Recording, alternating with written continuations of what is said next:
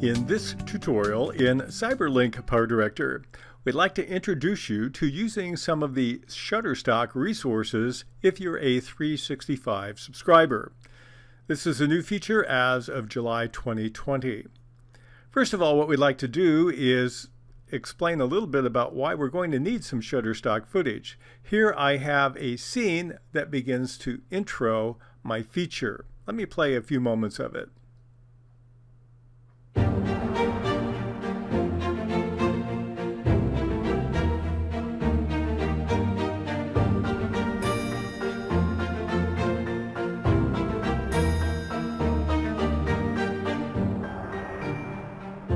Right there where the music tones down a bit and changes, register, what I'd like to do is have a more specific shot. I've set the big scene, now we want to set a smaller scene, but I don't have footage to do that. So I'm going to use Shutterstock to help me out.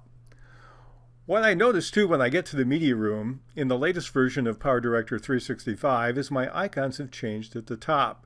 The nice thing about them is whatever you click on is totally selective now. Right now, I'm clicked on the video icon, so all I see in the media room is my video. If I click to the icon to the right of that, all I see are my graphics, my still images. If I click to the right of that, all I see is my music. So clicking on them now selects only what is clicked on. Now, if you want the combo of everything, you click on the second icon from the left. That also lets you see Shutterstock, so you can access it there. If you're not in that window, I'll go back here, you can always get to Shutterstock by clicking on the leftmost icon, Import Media, and now you can download media from Shutterstock. So let's go ahead and do that. What I'd like to do is get into this window. Now one of the things that's nice is the media in here is tagged. I have video, photo, and I also have music. So I can click on any of the three tabs for the three types of resources from Shutterstock. But I'm going to look at for some tags. I'm going to look for mountain and snow. Then when I press enter, I will get a tag search on those items. And you notice I have mostly snow shots. This one isn't snow, it's green, but it does limit it a little bit. And, here it looks like I have 17 screens to pick from. Now you can also click on the icon near the top and choose the size of the images that you happen to see. I have small. You can go to large or even extra large. But I'll make it small so that gives me the most options. Then you can click on the left or right arrow at the bottom to go through however many screens, given the size of the images you happen to see, that you have to pick from, no matter what type of element you're looking for with Shutterstock. So I'm clicking through them, and I happen to see this one here. I like that. I want to see what it looks like. I'll click on the blue circle in the middle with the transparent arrow. That'll open up a preview screen. And here I get to see if I hover over it the duration of the clip which is nice. I wish I could see that before, but this is when I happen to determine how long this one is. It's 16 seconds. I like it, so I'm going to close the window, and if I want to download it, I simply click on the box in the upper right corner, and I can check on more than one if I want at a time.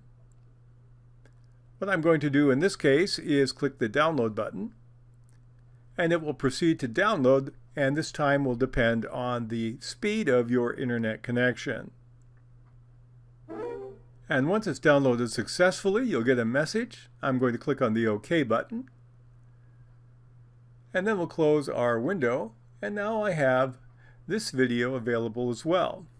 I've already placed a timeline marker where the music changes. So I'm going to take my new clip from Shutterstock and drag and put it down there. When I'm happy with it, what I'll do is I'll actually overwrite the first clip but I'll get the same effect as if I were doing a transition. So let's try this and see what happens when we play from one transition to our new one from Shutterstock.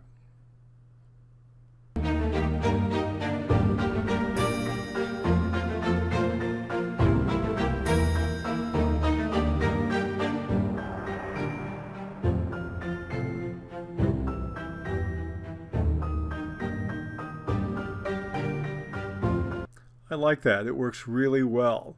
Now in this case, I actually tried using a fade transition or something else, but the abrupt transition works the best. So I'm going to actually take it and drag it and snap it, and we'll overwrite the original clip.